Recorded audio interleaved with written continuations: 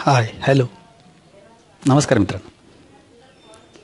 आज आपण जगाच्या पाठीवरील कोणत्याही प्रदेशाचं नेमकं स्थान हे कशा प्रकारे व्यक्त केलं जातं त्या संदर्भातील माहिती जाणून घेणार आहोत. मित्रांनो आपल्याला माहिती आहे की जगातील कोणत्याही प्रदेशाचं स्थान हे प्रामुख्याने दोन प्रकारे व्यक्त केले जाते. त्यातला पहिला प्रकार आहे सापेक्ष स्थान. आणि दुसरा प्रकार आहे निरपेक्ष स्थान. आता सापेक्ष स्थान म्हणजे काय? या संदर्भातली माहिती आपण जाणून घेणार आहोत.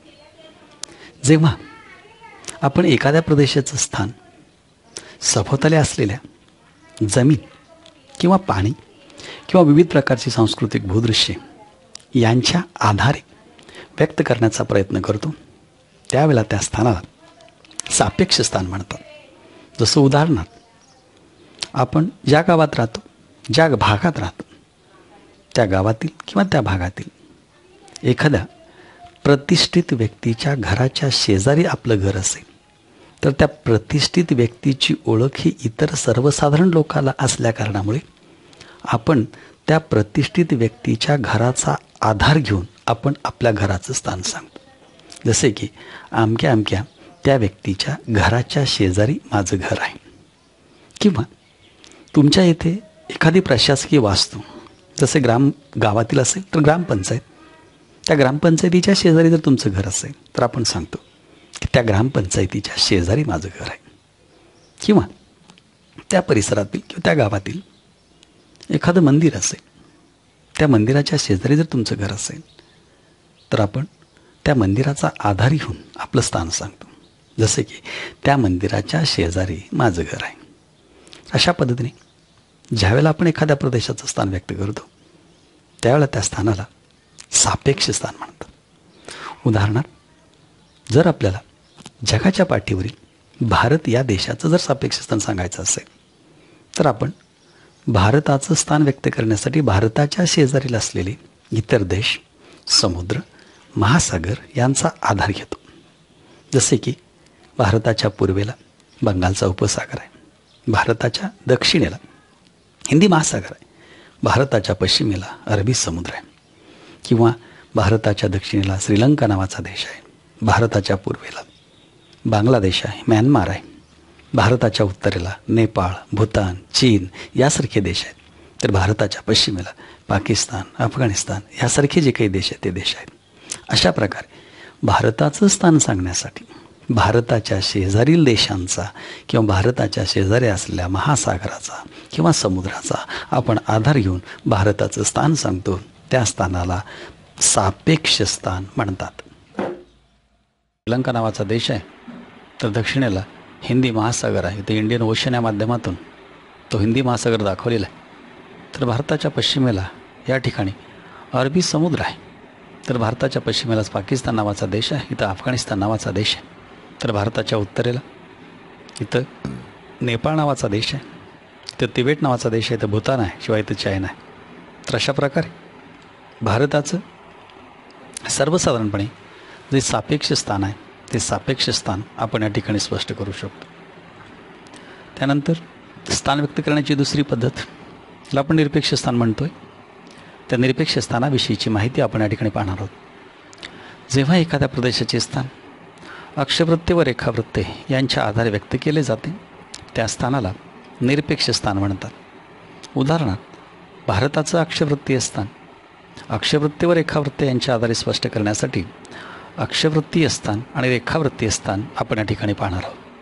तर भारताचं अक्षवृत्तीय स्थान आठ अंश चार मिनिटे उत्तर ते सदोतीस अंश सहा मिनिटे उत्तर या अक्षवृत्तादरम्यान व रेखावृत्तीय स्थान अडुसष्ट अंश सात मिनिटे पूर्व ते सत्त्याण्णव अंश पंचवीस मिनिटे पूर्व या रेखावृत्तादरम्यानचं स्थान हे भारताला लाभलेलं या ठिकाणी आहे.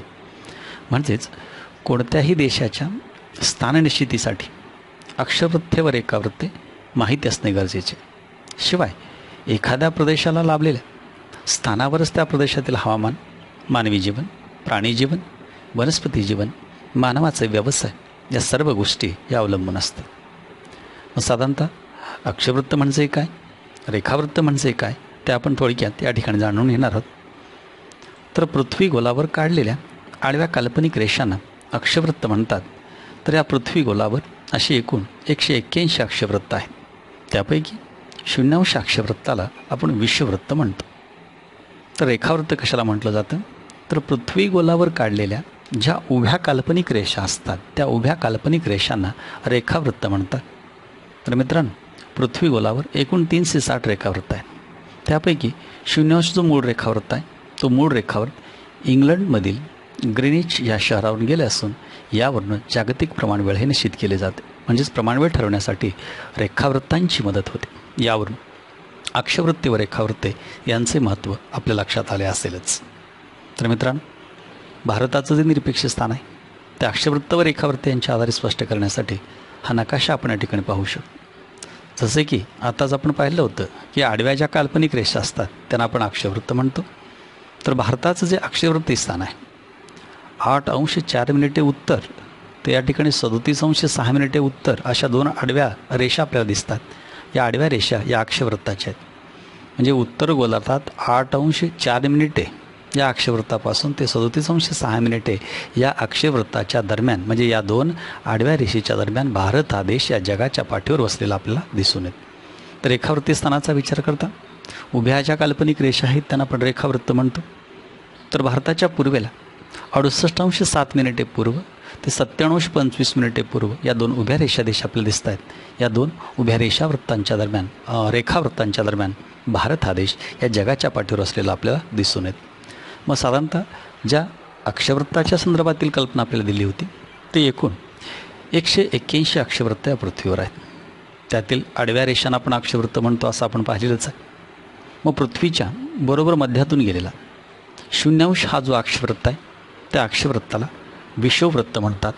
या विश्ववृत्तामुळे पृथ्वीची विभागणी ही दोन गोलार्धात होते. त्यातील शून्यांश अक्षवृत्तापासून ते नव्वद अंश उत्तर अक्षवृत्तापर्यंतचा हा भाग उत्तर गोलार्धाचा. तर शून्यांश अक्षवृत्तापासून ते नव्वद अंश दक्षिण अक्षवृत्ताच्या दरम्यानचा हा जो भाग आहे त्याला दक्षिण गोलार्ध या नावानं ओळखलं जातं. तर शून्यांश अक्षवृत्तापासून ते उत्तरेला जसं आपण जातो तसं तेवीस अंश तीस मिनिटे उत्तर अक्षवृत्त हा जो अक्षवृत्त आहे त्या अक्षवृत्ताला कर्कवृत्त म्हणतात. तर शासष्ट अंश तीस मिनिटे हा जो उत्तर अक्षवृत्त आहे त्या उत्तर अक्षवृत्ताला आर्टिक वृत्त म्हटलं जातं. तर नव्वद अंश उत्तर अक्षवृत्ताला उत्तर ध्रुव असे म्हणतात.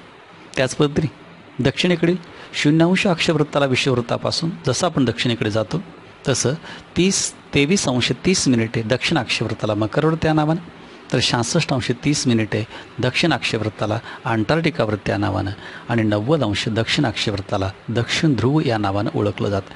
म्हणजेच विषुववृत्तापासून म्हणजे शून्यापासून नव्वद हा दक्षिण गोलार्धातले नव्वद अक्षवृत्त आणि शून्यापासून उत्तरेला नव्वद म्हणजे नव्वद आणि नव्वद एकशे ऐंशी आणि हा विश्ववृत्त एक अशी एकशे एक्क्याऐंशी अक्षवृत्त या पृथ्वीवर आहेत.